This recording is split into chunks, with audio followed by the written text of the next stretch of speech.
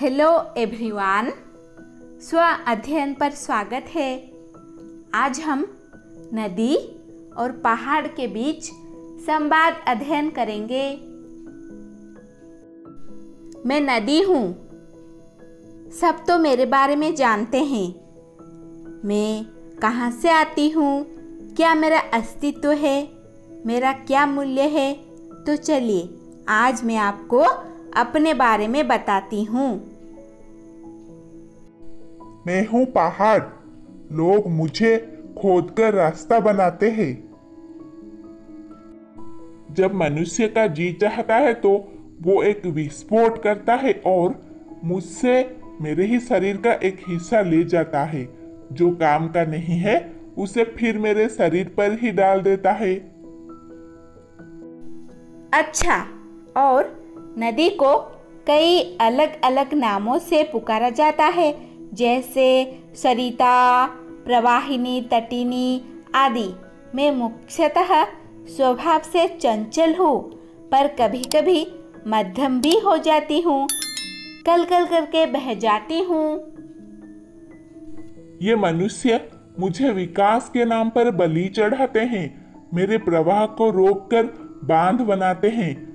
तब तक तो ठीक है, पर जब वो मेरी और उनकी सांसों के लिए ज़रूरी पेड़ों को काटते हैं तो बहुत दुख होता है। मैं अभागा रोता हूँ तो वो समझते हैं कि बाढ़ आई है। मेरे शरीर के किसी हिस्से में धूप से जलन होती है तो वो समझते हैं कि वनाग्नि है। मैं मानव हस्तक्षेप के कारण दर्द से कराहता हूँ तो उसे भूस्खलन नाम देकर प्रकृति को कोसते हैं। हाँ मैं पहाड़ हूँ और बहुत उदास हूँ। मुझे जिस तरह से प्रकृति से अलग किया जा रहा है तो मैं दर्द से तड़प रहा हूँ। मेरे आंसुओं के सैलाब से बर्फ़ पिघल रही है। जो कुछ भी हो रहा है, उससे यही लगता है कि मेरे सब अंग तकलीफों से भरे हैं और मैं बेकार होता जा रहा हूँ। उपेक्षित उत्पीड़ित और अपमानित सा महसूस कर रहा हूँ। मेरे बहाव कभी तेज तो कभी कभी धीमा होता है। मैं स्थान अनुसार कभी संकरी तो कभी चौड़ी हो जाती हूँ। मेरे रास्ते में बहुत अड़चने, बहुत रुकावट आती है। कभी पत्थर, कभी कंकर, कभी चट्टान, पर मैं कभी ठहरती नहीं हूँ। अपना रास्ता बनाती, चलती जा रही हूँ।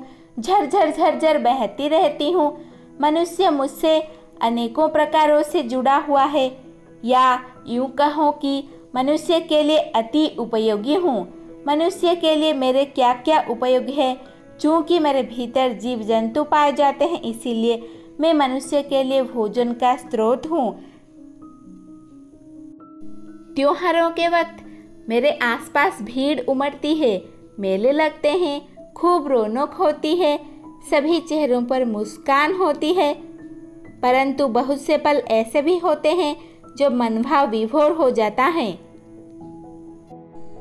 हम दोनों अंत में मनुष्यों को ये संदेश देना चाहते हैं कि मनुष्यों को नदी, पहाड़ तथा प्रकृति को संरक्षित तथा सुरक्षित रखने की आवश्यकता है।